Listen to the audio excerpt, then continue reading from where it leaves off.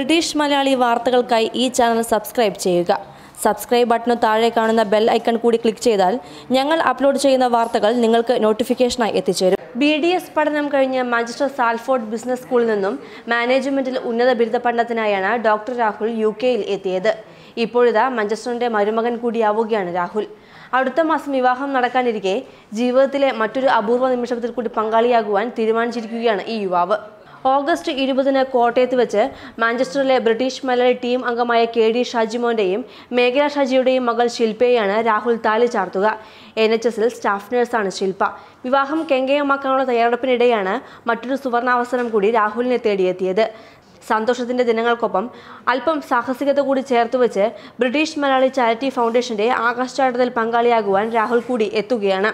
കോഴിക്കോട് താമരശ്ശേരി സ്വദേശിയായ ഡോക്ടർ രാഹുൽ ബാംഗ്ലൂരിലെ Rajiv Gandhi university of health സയൻസിൽ നിന്നും ബിരുദം നേടിയ ശേഷമാണ് യു കെയിൽ പഠനത്തിനായി എത്തിയത്.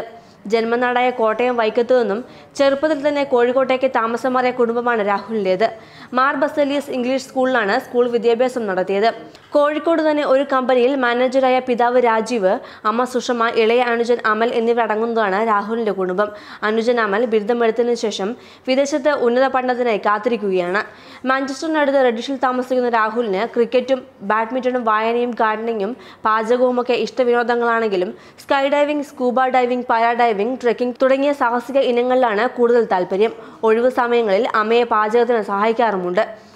ബ്രിട്ടീഷ് മലയാളി ചാരിറ്റി ഫൗണ്ടേഷൻ നടത്തുന്ന ചാരിറ്റി പ്രവർത്തനങ്ങളെ വളരെ സന്തോഷത്തോടെ നോക്കി കാണാറുണ്ടെന്നും മുന്നോട്ടുള്ള പ്രവർത്തനങ്ങളിൽ സജീവമായി ഇടപെട്ട് എല്ലാവിധ പിന്തുണയും നൽകുമെന്നും രാഹുൽ അറിയിച്ചു. ഇങ്ങനെയൊരു ചലഞ്ച് ചെയ്യുന്നതിനെക്കുറിച്ച് ആലോചിച്ചുകൊണ്ടിരിക്കുന്ന അവസരത്തിലാണ് മറ്റുള്ളവരെ ഇതുവഴി സഹായിക്കാനാകുമെന്ന് ബ്രിട്ടീഷ് മലയാളി ചാരിറ്റി ഫൗണ്ടേഷൻ വഴി മനസ്സിലാക്കിയത്. വിവാഹത്തിനായി ഉടൻ നാട്ടിലേക്ക് തിരിക്കുമെങ്കിലും ഫണ്ട് ശേഖരണം നാട്ടിലുള്ള ബന്ധുമിത്രാദികളെ കൂടി ഉൾപ്പെടുത്തി കൂടുതൽ ഊർജിതമാക്കുമെന്നും രാഹുൽ അറിയിച്ചു.